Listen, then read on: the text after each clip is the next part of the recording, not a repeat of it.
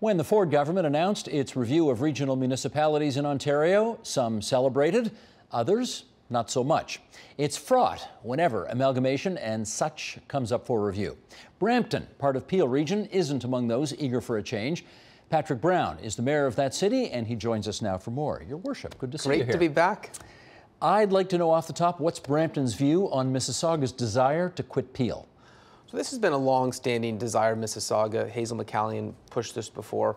My personal opinion, uh, uh, reflected by uh, Brampton City Council, is the greatest premier this province has ever seen, Bill Davis, uh, uh, in his wisdom in 1974, realized that it would save costs for families, for homeowners, by sharing some uh, services, whether it's policing or waste management. I think the wisdom that Bill Davis showed in 1974 still holds today uh, and the facts back it up. And so if it isn't broken, don't try to fix it. You can always improve it. Uh, but I think the general concept of pooling resources made sense uh, in 1974 and it makes sense today. That was 45 years ago. Things have changed since then. Doesn't need any tweaking? Listen, you can always use some tweaking. You can always look for efficiencies. You can always improve.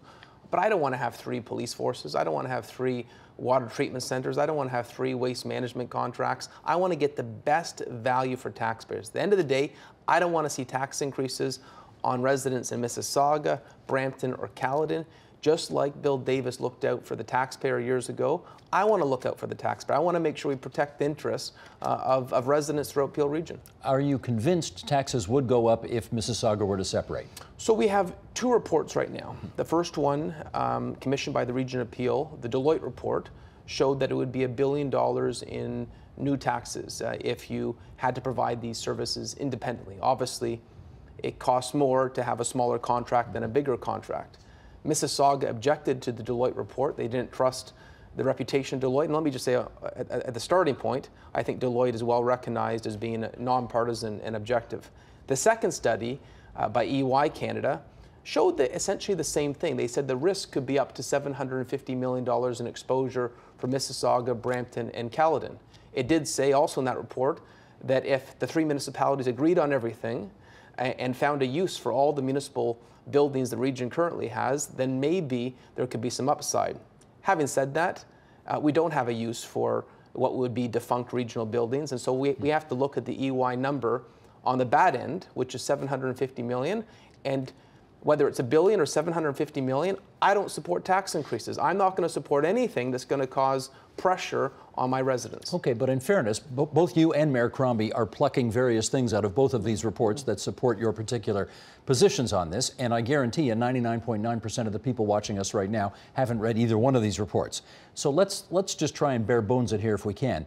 If Mississauga were to leave Peel, what would that do to Brampton?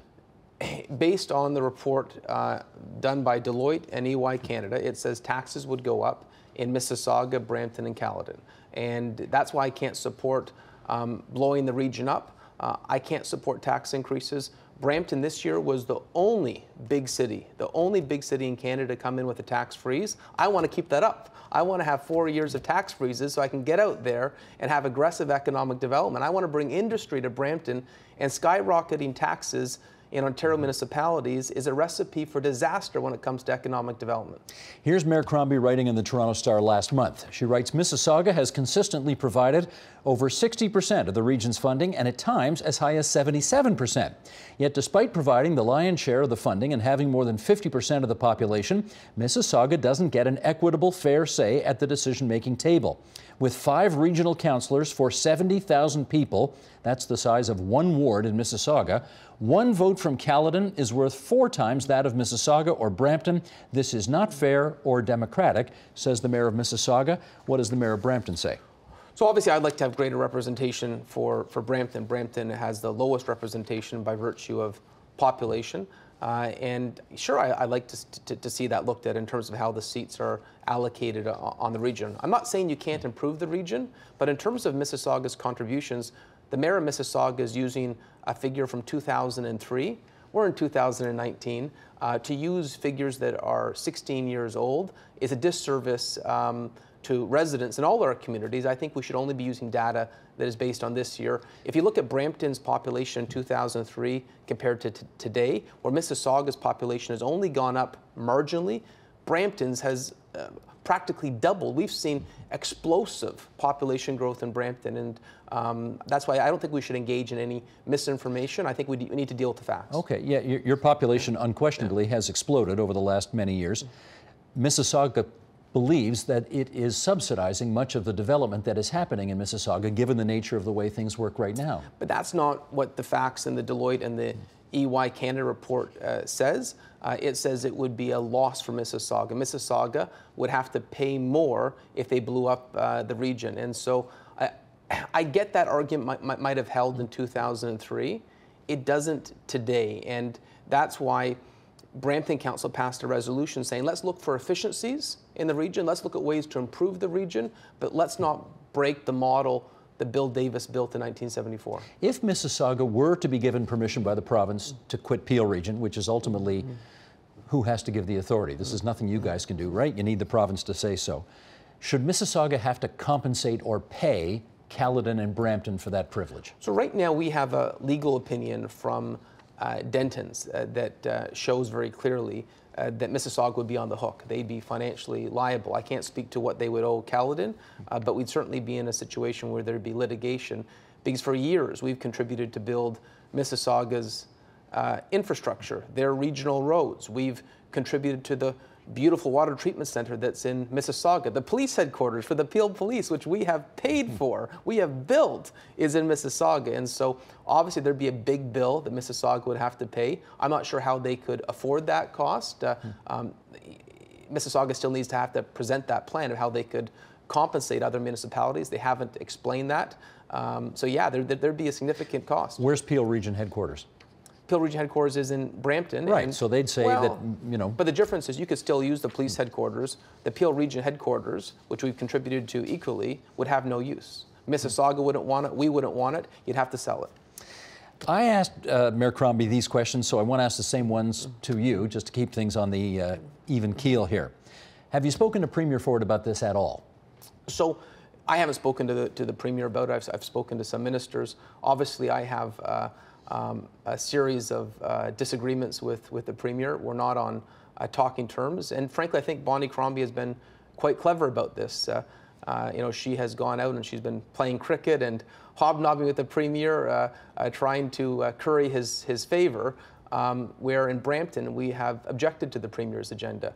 we've objected to the cuts to education. We've objected to municipal downloading. Mississauga has been mute on the on the municipal downloading. I think they're taking a different approach.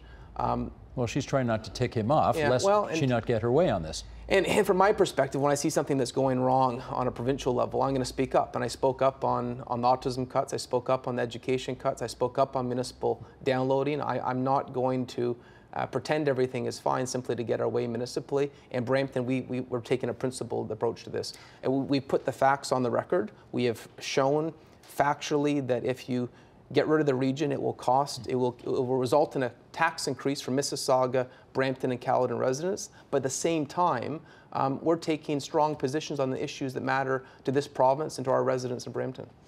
Um, I don't know if this analogy makes any sense, but let me throw it out there anyway. Some Quebecers were prepared to pay more in taxes for the right to be an independent country. Mm-hmm. And, you know, it, for them, it wasn't all about the economics. There was something about being on their own. Obviously, I'm talking about sovereignists who. Uh, you know, who would prefer to pay more to be on their own. If Mississaugans want to pay more to be on their own, and this isn't to say that they'd have to, but if they had to, yeah. should they be allowed that choice? Absolutely. If, if Mississauga residents uh, uh, believe that it's worth paying more um, to not be associated with the region of Peel, um, then, then they have that right. But I would say to Mississauga residents, your taxes are too high already. You do not deserve a tax increase. And crime doesn't stop at the Mississauga Brampton border. I like having a Peel Police. I like having a coordinated response to crime. But in, Mississauga in, could in just Peel contract region. services from Peel Police in the same way they used to. You think we'd ever stand for having our police headquarters in, in a different city? Um, there's no other case like that in the country. Uh, if, if you blow up the region, you're blowing up the, the, the, the Peel Police. Uh, and, and I think it makes sense to share these services. Um, it, the water treatment center, you know, it, it, saved us significant resources because we've all contributed to that. Uh, um, I, I, really think it may be a nice soundbite, it might be a nice political rhetoric saying we want to be independent, but you are independent. You're in charge of all your own uh, policy decisions. We just pool resources at the regional level to save funds for taxpayers. And I think it comes to this. Do you want to engage in political rhetoric that might sound nice, or do you want to support the best bottom line for your residents? And the best bottom line for residents in Mississauga, in Brampton, and in Caledon, with two evidence-based reports supporting this, says very clearly keep the region together, maintain Bill Davis's legacy, and put taxpayers first. You're definitely going to win the prize for mentioning Bill Davis's name the most. I'm here, a bit of a fan. here in the Bill Davis studio, we get that. Um, but tell me this, you know, a lot of people believe that history is biography. And at the moment, um, her personal relationship with the Premier of Ontario and the Minister, Minister of Municipal Affairs is a lot better than yours. And, and do you think it's possible that at the end of the day, this decision is going to be made on the basis of the facts or on the basis of your really terrible relationship with the current Premier of Ontario? So let me say I, have got a good relationship with both ministers. Uh, I, I, hear from the Minister of Municipal Affairs. Uh, Steve Clark. Uh, regularly, and, and frankly, I think he's a very competent um, individual, and, and I do think he'll do his research. Uh, uh in terms of the Mississauga's mayor's approach to um, to suck up to the premier to try to curry favor. That's not something I'm going to engage in. And, and, and frankly, I hope the provincial government uh, uh, will make this decision based on what's best for taxpayers, not uh, who's uh, trying to curry favor the most. Uh, um, this should be about taxpayers, not about uh, um, people's. Uh, past history or personal relationships. Okay. You say that's what it should be about, but are you concerned that your bad relationship with the Premier will, at the end of the day, be a decisive factor here? I believe I'm on the right side of the issues uh, where I have disagreements with, with the Premier, and so would I change anything? No. Uh, having said that, uh, if, if, he, if the Premier makes a decision that hurts taxpayers, um, I think it will be his own loss. If he, if, he, if he takes a decision that results in municipal taxes going up across Mississauga, where he has five seats, I think residents will be upset. If he makes a decision that results in taxes going up in Brampton and Caledon, where he has um, three seats, I think uh, uh, people would be upset. And so I think ultimately he needs to decide uh, uh whether, um, whether the personal disagreements I have with Doug Ford outweigh his own uh, political agenda. And he tells us he wants to look after taxpayers. Well, he has an opportunity right now to say we're going to hold the line on taxes for municipalities, or he can engage in, um, in changes to municipalities that will result in downloading an additional cost to municipalities. And I hope he does what's right for taxpayers. That's Patrick Brown, the mayor of Brampton. We're grateful that you made the. How long did it take you to get here today? Two and a half hours. Traffic is too. It, Tell me about a problem. Tell me about it. Yeah. Well, however long it took, we're grateful you managed to make it here to Yonge and Eglinton in the middle of Toronto. Thanks so much. My pleasure. The Agenda with Steve Paikin is brought to you by the Chartered Professional Accountants of Ontario, helping businesses stay on the right side of change with strategic thinking, insightful decisions, and business leadership. Are you on the right side of change? Ask an Ontario CPA.